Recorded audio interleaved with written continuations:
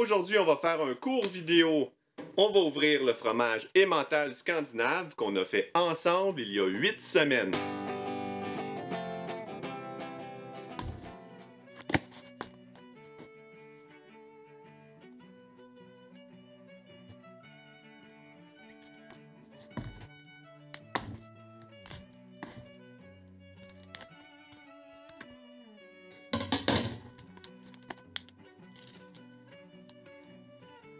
Wow! Alors d'abord, l'odeur qui émane de ce fromage est tout simplement sublime. C'est vraiment, ça donne le goût de le manger. Le développement des yeux aussi est vraiment très intéressant. On a un bon développement, une belle répartition à travers le fromage.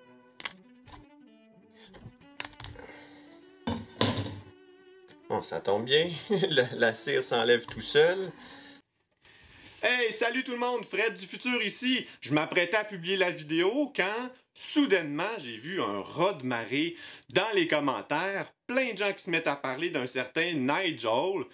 Nigel, légende urbaine ou pas, paraîtrait-il que tu as présenté mes vidéos dans tes streams de plus de 15 000 personnes. Si c'est le cas, ben, je t'en remercie énormément, c'est très apprécié. Je te dédicace ce fromage. En plus d'être bon, il fait non, il fait pas de la bonne musique, t'es mieux de le manger, ça va être mieux. Je n'ai aucune idée si tout ça est vrai ou non. Peut-être que ce ne sont que des gens qui ont commencé à mettre des commentaires dans mes vidéos pour me faire rire. Si c'est le cas, ça a fonctionné. En remontant les ficelles aussi, je suis remonté sur sa chaîne YouTube que je mets juste ici. Si ça vous intéresse, allez le voir. Il a plus de 4 millions d'abonnés. Sérieusement, si c'est vrai, je suis très très très surpris.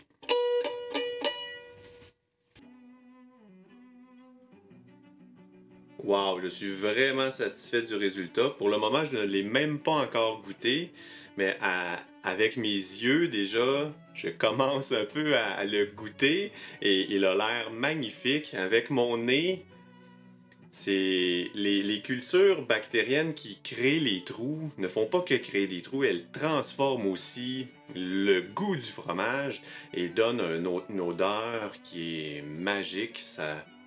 Donc je vais le goûter. Je ne, croquerai pas dans un immense morceau pour rien. Peut-être que certains d'entre vous, euh, c'est ce qu'ils attendent de moi.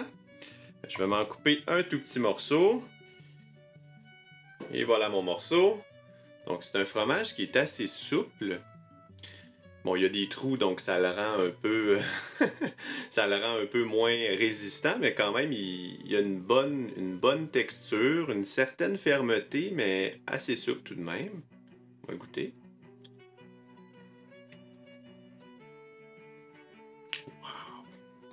Ouh, ça c'est bon. Je suis, vraiment content de mon, résultat. Je sais que dans certains coins du monde, c'est pas évident de trouver la Propionic shermani, qui est la culture bactérienne qui fait les trous. Essayez d'en trouver. Il faut que vous fassiez ce fromage-là. En 8 semaines seulement, c'est le goût, le développement de saveur qui s'est passé dans ce fromage est exceptionnel. Euh, vous devez faire ça une fois dans votre vie. Je suis désolé si vous ne trouvez pas de propionique Shermani, trouvez-en. Il faut que vous le fassiez. On a une certaine douceur dans le fromage et un goût. Certains vont appeler ça noisette. C'est un goût qui est définitivement transformé. Ce n'est plus du produit laitier standard. Il y a eu quelque chose qui l'a transformé. C'est délicieux. Un certain sucré aussi peut-être, aucune amertume, le sel est parfait. Je l'ai saumuré dans une saumure à saturation. C'est quand même un niveau de sel euh, qui est assez élevé. Le dosage, j'avais un petit peu peur. Est-ce que ça allait être trop fort ou pas? Le sel est parfait dans la recette. Bon, je suis désolé, je vais en manger un autre. Donc, c'est à peu près.